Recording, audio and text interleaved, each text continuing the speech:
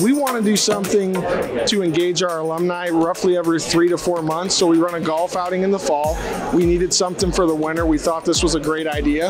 Uh, this is what some large programs in college baseball do, and we want to be a big time program, so we need to run big time events like this not only in my first visit did I get enthused and impressed, but to the level where it's not going to just be about, oh, one visit and stir it up. This is going to be about raising money for not only the baseball program, but for the university. The main reason is because there is such integrity here. Just as a five-year journey, I think, you know, going from the program getting cut my at the end of my freshman year when COVID and all that happened to Orel stepping in and bringing the program back along with that advisory committee that they talked about and over the last four years, we've heard small parts about it. And to kind of get everyone in the room tonight and just see how special this place is, generation to generation, was really neat to see and something that'll last with me for a long time going forward.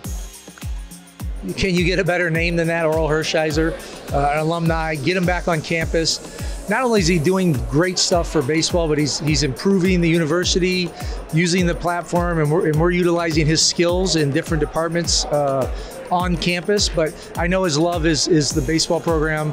I know he cares about the kids. I know he cares about the coaching staff, and however we can build momentum to bring an army back to support our baseball program, our athletic program, and our university. I mean, we relied on the community, you know, we made ourselves part of the community, but it was the support of the community that helped us uh, grow as a program. And uh, to see so many people here from the community was outstanding. Well, you want people to get involved because it is time to give back.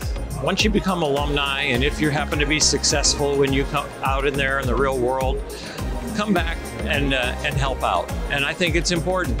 And I think people really enjoy the camaraderie of coming back and seeing old friends and then seeing what they can contribute to and how much they can help.